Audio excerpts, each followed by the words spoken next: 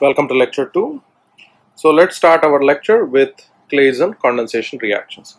So what is Claisen condensation reactions? Claisen condensation reactions are basically esters that we can use to condense the structure. So esters undergo what we call a reversible condensation reactions and this type of reaction is what we call as a Claisen condensation. So let's take a simple example of this reaction and let's see how it looks like. So let's say I have an ester, I have an ethyl methyl ester, sorry, methyl ethanoate. And with this ester, let's say there are two of them. So the two esters in the presence of sodium ethoxide and an acid, they undergo condensation reaction what happens here is that remember that you have one alpha position here so the alpha carbon. So the ETOH and the proton from the alpha position both combine together and exit the structure as ethyl alcohol. And this carbon will bond itself to that structure there resulting in the formation of the following structure. So this is a ketone and an ester. And the ketone here is present on the beta carbon. So notice that this is the alpha carbon so it's on the beta carbon. So we call this a beta keto ester. So this reaction is called as the Claisen condensation reaction. So this reaction is called as a Claisen condensation reaction. It's simply a nucleophilic acyclic reaction where the nucleophile is the enolate of the ester and the electrophile is the ester by itself. So this is the reaction that happens here. Now, well, there are some limitations to Claisen condensation. So the idea here is that the starting ester must have at least two alpha protons because the removal of the second proton by the alkoxide ion is what drives the equilibrium forward. If it's not having two protons, it does not undergo the reaction. Next, the hydroxide cannot be used as the base to promote Claisen condensation reactions. So OH group is not going to be the one that undergoes the, that's going to promote the Claisen condensation. So what will happen? It will undergo ester hydrolysis. Now an alkoxide that matches the OR group of the ester is generally needed. Otherwise the trans-esterification will occur. So trans-esterification results in the uh, change of the alkoxide group on the carbon rather than trying to change the structure. Remember that depending on what uh, the oxide that you use, for example here we use sodium ethoxide, that's the reason why ethoxide is the one that exits the structure. If we use any other alkoxide ion, then that does not result in the structure formation, but rather it undergoes trans-esterification where it removes the already present alkoxide and replaces with replaces the original oxide. So this is the process of trans-esterification. Next, let's look at the next one which is cross-Claisen condensation. So these are only useful if one of the following criteria is met when there is one ester that has no alpha protons and perform directed Claisen condensation with LDA as the base. So lithium diisopropyl amide. So for example here this is an ester where there is no alpha protons but this has alpha protons. So what happens here is that it still undergoes the reaction, it undergoes the removal of OR, but rather it creates a negative charge on the alpha, alpha carbon. Next, if you have the other criteria for cross, cross uh, Claisen condensation is performing direct Claisen condensation with LDA. So when we use LDA as the base, it creates enolate ions. The enolate ions then further undergo cross Claisen condensation to finally create a negatively charged alpha proton. So this is the idea behind crossed Claisen condensation reactions. Remember the term crossed means two different esters. Claisen condensation generally refers to a single ester trying to form its own condensate compound. Cross condensation when you have two different esters. Now, intramolecular Claisen condensation can also be achieved. We call that Dieckmann cyclization. When you have diesters on both ends of the carbon. So let's call it terminal diesters. So when you have diesters on two ends then that can result in the cyclic formation where one of them will leave and the carbon that is there will attach itself onto the alpha on, onto the alpha carbon. So when this one, so the sodium methoxide will leave and this carbon will attach itself to the alpha carbon, uh, result in the formation of cyclic cyclization. So this is also similar to the aldol reactions, but Dieckmann uh, cyclization prefers the formation of either 5 or 6 membered rings. Next one is the alpha position. Let's talk about alkylation, alkylation of alpha position. So the alpha position can be alkylated when you have an enolate that is being treated with an alkyl halide. So when you have an alkyl halide, that alkyl halide, the X here goes out of the structure and the R will bond to the alpha carbon. So this here is the idea behind the alkylation reaction of the alpha position. So here the enolate will attack the alkyl halide at undergoes the SN2 substitution where the X takes the electrons and leaves, the enolate ion will attack the carbon structure and bond itself to the alpha carbon. So remember that this is a typical SN2 reaction restrictions which means that only you have secondary or tertiary alkyl halides are generally used for this reaction and E2 elimination will generally dominate the structure. When you use secondary or tertiary, the only choice you have is if you have a methyl halide or primary halides. So that's the only choice that you might have. When you use secondary or tertiary, it undergoes E2 rather than SN. Now the aldol reaction also competes with the desired alkylation. So the, we need to use a strong base as such as LDA, so lithium diisopropyl amide. So there is also the regioselectivity with unsymmetrical ketones. So where you can end up forming two different enolates that can form the structure. So you can have enolate that creates on one side of the structure and, and also on the other side of the structure away from the compound. So where the thermodynamic enolate will be formed towards the more stable one will always be the more substituted one. The less stable one will always be the one that is uh, less stable. So the less substituted will be less stable, the more substituted will be the more stable one. So this is a classic example of uh, kinetic and dynamic thermodynamic pathways. So the one that has the most energy, it has the highest amount of energy. This is thermodynamically favorable, but this here is kinetically favorable because it requires less activation energy. So it takes longer to create the thermodynamic enolate, but it takes shorter time but does not form enough amount to create the kinetic enolate. Next, kinetic enolate is generally favored because of by irreversible conditions. What are those irreversible conditions is when we use LDA at very low temperatures. If you want thermodynamic enolate, we favor it at by reversible, reversible conditions, for example using sodium hydride at room temperature. So when you use LDA at low temperatures, you form the kinetic enolate and when you use sodium hydride, we end up creating the thermodynamic enolate. So this is the idea behind the formation, the alkylation of alpha position. So try this example.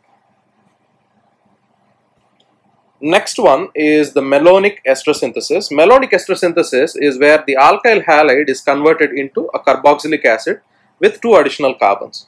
So we are basically taking an alkyl halide and converting it into a carboxylic acid provided we are adding two additional carbons to the structure. So this is here what with the most common material used is called diethyl malonate is the starting material. At first we react it with a base to form the corresponding enolate and then the enolate is the one that attaches itself and forms the attaches uh, reacts with the alkyl halide to finally create the uh, carboxylic acid.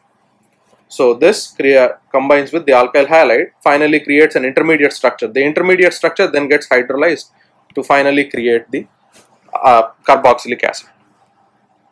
So one of the resulting carboxylic acids is then undergoing what we call decarboxylation where it splits into two equal parts.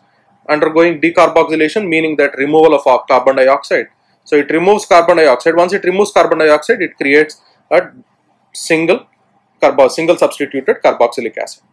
So most common ones that undergo decarboxylation are 1,3 decarbo dicarboxylic acids. So when you have 1, 2 and 3. So when you have carboxylic acids and 1 and 3, those are the ones that undergo decarboxylation easily in a pericyclic process.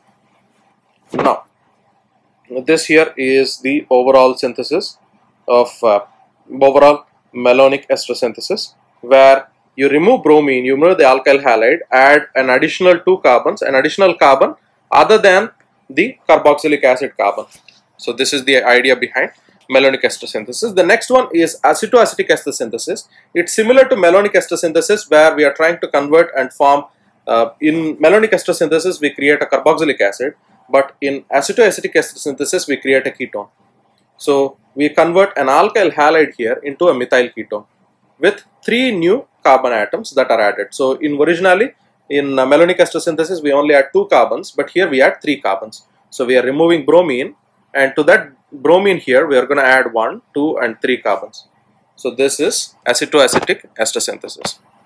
So just remember the base reaction that's more than enough. So let's discuss the next one which is conjugate addition reactions.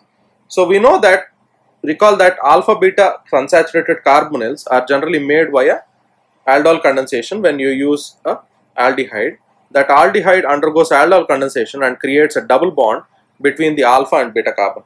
Now this alpha and beta carbon has three resonance contributors. So it undergoes three different resonance structures. Because of the resonance that it has, it's much more electrophilic and this electrophilicity can cause the either carbon can be attacked depending on the nucleophile that you use. So the two carbons that can get attacked are the carbonyl group and the beta carbon. So that's why we call this the conjugate addition reactions because conjugate refers to the term 1,3 or alpha beta. So the carbonyl group and the beta carbon are the ones that generally can get attacked. So when we use a Grignard reagent, generally attacks the carbonyl position. So which means that if you use a Grignard reagent, the R here will try to attack the carbonyl position and bond to the carbonyl position, creating an alcohol group. Now, when we use another reagent called a Gilman reagent, Gilman reagent attacks the beta position. So, we call this a 1,4 addition or conjugate addition. Remember that when we use Grignard reagent, we call that 1,2 addition. But here when we use Gilman reagent, we call that 1,4 addition or conjugate addition where the R group attaches itself onto the beta carbon. So, it goes to the beta carbon and attaches itself and it still retains the original aldehyde structure Note that when we use Grignard reagent, it creates it into an alcohol. So the aldehyde becomes an alcohol. Here, the unsaturated alcohol becomes saturated alcohol. Sorry, unsaturated aldehyde becomes a saturated aldol. So saturated aldehyde.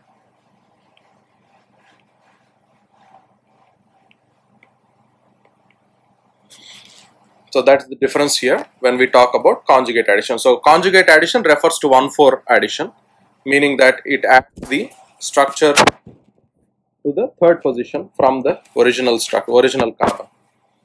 Now the stronger nucleophiles will tend towards 1,2 addition and they are generally when you have less reactive nucleophiles, they generally tend towards conjugate addition. For example, typical enolates often give a mixture of 1,2 and 1,4 addition products but when you have stabilized enolates, they generally undergo conjugate addition and they undergo 1,4 addition.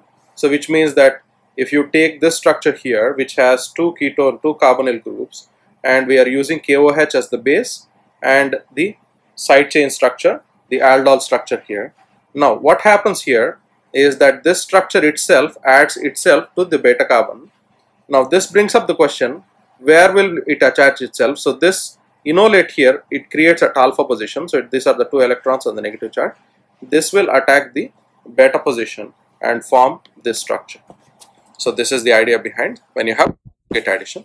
This conjugate addition is called as a Michael reaction.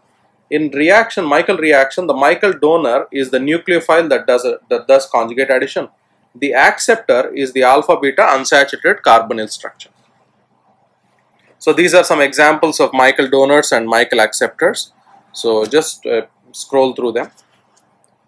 Next, let's talk about the final one, which is Stork enamine synthesis. Stork enamine synthesis because when you have singly stabilized enolates that do not give high yielding Michael additions, what we used is we used Gilbert Stork's method, which he developed So where he synthesized using a in enamine intermediate.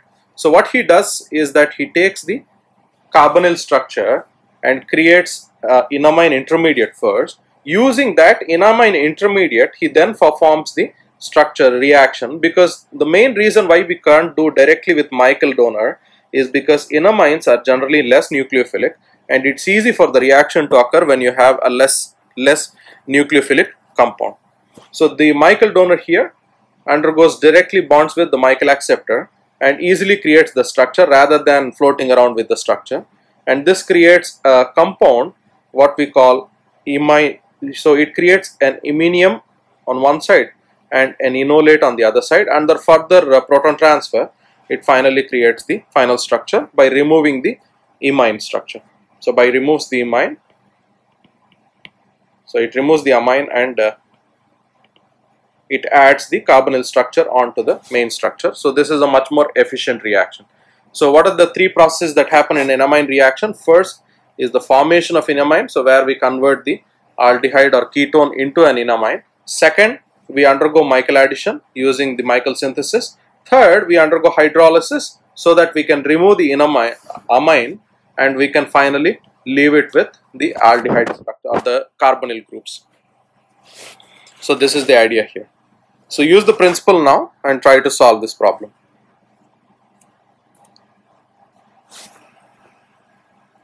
Next one is Robinson annulation. Robinson annulation, it's a two-step process but this is a, what we call a cyclization process because it forms a ring. So what happens here is that it's still a Michael addition but it undergoes inter intermolecular aldol condensation where it undergoes aldol condensation by removing the oxygen and creating a double bond structure. So the combined structure forms together, removes the enamine here, removes the double bond and then finally adds the double bond at the end of the structure at the alpha carbon. So this is the idea behind the Robinson annulation.